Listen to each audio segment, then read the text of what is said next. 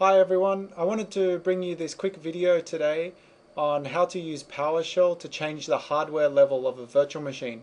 If you're running vSphere 5.5, which I'm running here, if I right click on one of the virtual machines and I select upgrade virtual hardware, it's going to upgrade the virtual hardware to version 10 by default, which means that if you try to click on edit settings after upgrading, it's going to tell you that you need to make any changes in the web client and you won't be able to edit any settings within the vSphere client.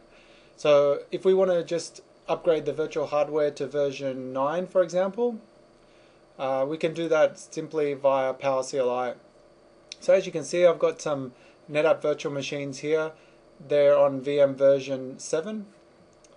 So I've just got my PowerCLI open up here. I'm going to connect into my vCenter.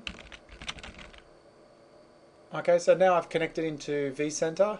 Before going through and upgrading the virtual hardware, you need to make sure that your virtual machine is powered off. And what I also do, just as a little bit of a safe measure, is I take a snapshot of the virtual machine once it's been shut down.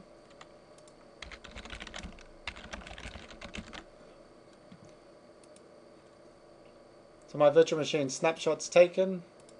I'm going to jump back into PowerCLI and the command to change that specific virtual machine to hardware version 9 is setvm hyphen vm the name of the virtual machine 1 hyphen version v9 you can select a v8 here if you like but uh, for this demonstration we're going to be doing v9 so if I press enter here it's going to ask me if I'd like to proceed with upgrading the virtual machine to version 9. So I'll press Y. You can see in the background there was a task here, upgrade VM compatibility. And on my virtual machine we can see here that the VM version is VMX09 now.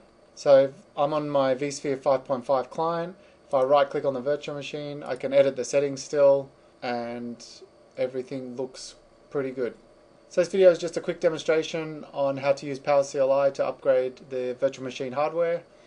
I hope you enjoyed it and we'll see you in the next video.